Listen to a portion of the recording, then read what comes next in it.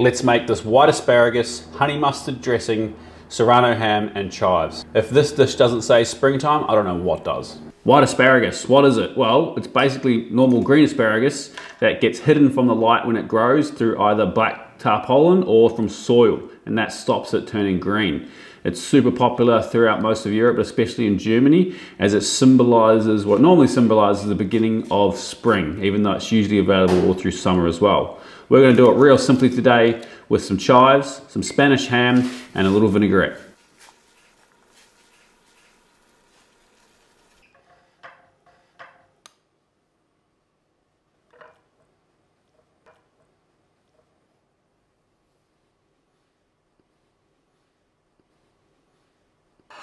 And there you have it, our dish of white asparagus, honey mustard dressing, serrano ham and chives.